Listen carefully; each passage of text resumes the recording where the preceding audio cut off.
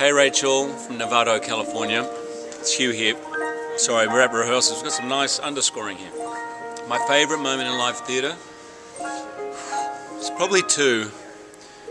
When I did a show called The Boy from Oz on Broadway about six, seven years ago, the very last show was uh, kind of an out of body experience. And at one point, not sure how I came to do this, but I got off stage and I dragged Barbara Walters and Matt Damon up on stage together and forced Matt Damon to, alongside me, to give Barbara Walters a lap dance. Uh, I don't think I'll ever forget that.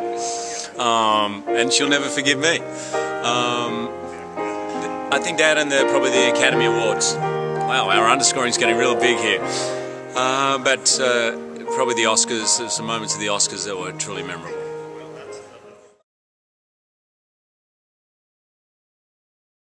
Hey Nicole from San Jose. I decided to do the show, uh, concert one-man show. Well, I really only decided fairly recently to actually do it, but it's been in my head for a long time. And for me, the theatre is in my blood, and I love it, and I really miss it. It actually feels like an indulgence to be able to come back and do a show with such great people. And I decided when I was choosing all my material to do the things that I love doing, so that I would really look forward to doing it.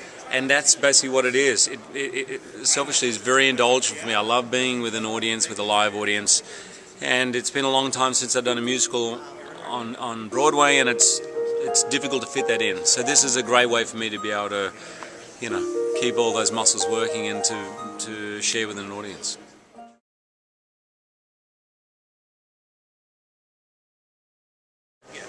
Hey Lisa from San Fran. We're loving your town by the way, love being here. Um, what's harder, preparing for a movie role or a theatre production? I, both are difficult in different ways. It's a different type of preparation. For someone like Wolverine, it's it's months of training and eating and some some roles. For example, when I did The Fountain, I spent a year preparing for that, uh, doing Tai Chi and yoga and research. So it's everything is different, but there's no doubt that in actually doing it, theatre is the hardest work of all. It's, there's nothing more rewarding and nothing harder to do. Eight shows a week, so that's my answer to that.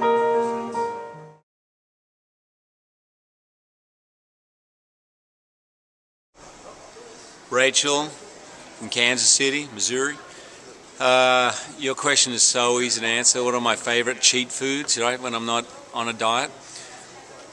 First thing I always crave is like breakfast cereal, but I, I don't like it at breakfast. I like it at like 11 o'clock at night. I love lasagna. I love basically anything Italian. Um, oh gosh, Sp yeah, spaghetti bolognese. I I also love sweet food. So tiramisu is my favorite dessert, and I love ice cream. They'd, they'd be my big cheats.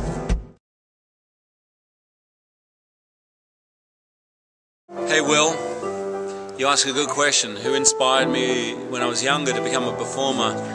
Um, well, my mum says it was because I was the youngest of five kids and I was constantly looking for attention.